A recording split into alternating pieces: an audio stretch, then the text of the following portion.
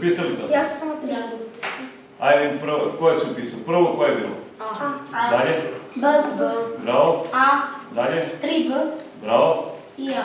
Odličan si. Ne, ne, E, idemo sad. Može? Piši. Idemo od sljedeće. Loše, Znači, to idemo je što sam objasnio malo čas spoji računara i radio stanice, pa možete da vidite. Idemo dalje. Piši. Idemo dalje.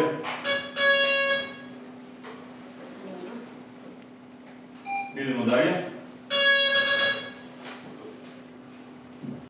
I još jedno.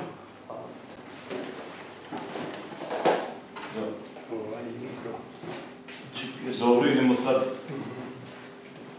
E sad idemo ovako.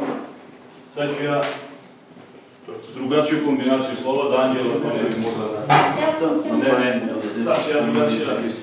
Može?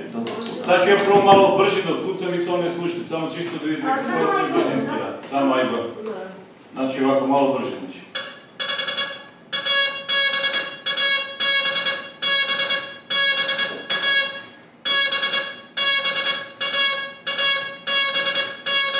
Otprilike to je taj tempo koji se radi